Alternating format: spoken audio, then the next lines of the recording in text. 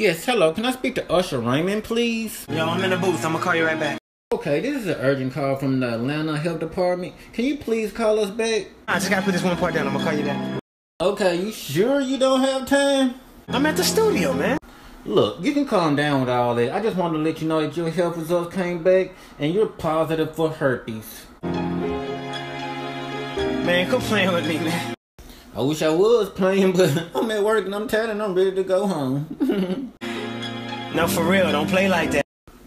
Nigga, what did I just say? Hello?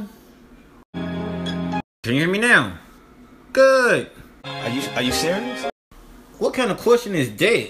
How you know? How do I know? I'm looking at the paper. Put that on everything.